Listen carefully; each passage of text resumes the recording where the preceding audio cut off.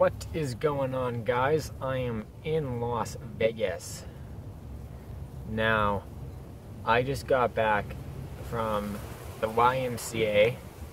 I was taking a well deserved shower, swim. To my surprise, they didn't have a hot tub here, which is the only thing I really like to sit in. I just stayed in their kind of lukewarm therapy pool for like 20 minutes and then I tried to go take a shower.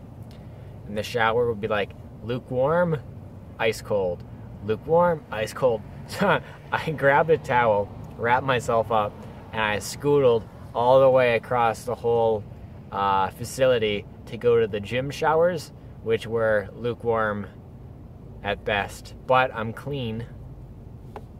So we're gonna go to a truck stop, which allows hopefully 48 hour parking. That's what I read for free. And it's right near the strip.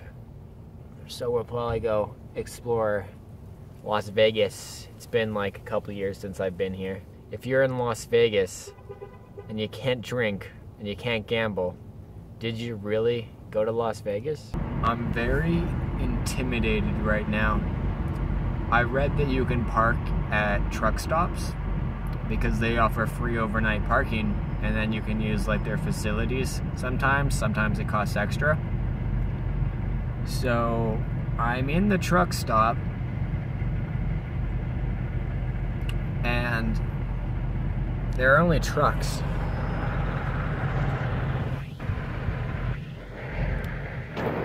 I feel so out of place right now.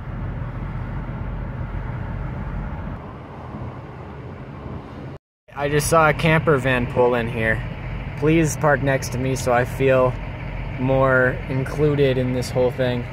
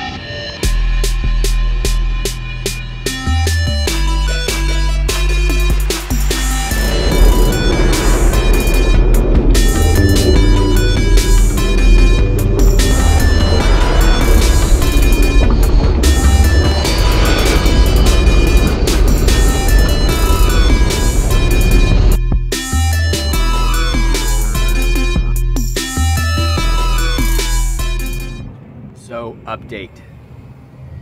I wanted to let you guys know that the uh, the White Castle burger, how it tasted, it was actually surprisingly a lot better than I would have thought. It was just super tender, and yeah, the most tender probably like burger I've ever had. So that that was good. Uh now afterwards, I did get sick. I don't know if it's correlated or not. I can't say for sure, but I just felt like we're gonna get very detailed here because this is like this is the history of me videos. So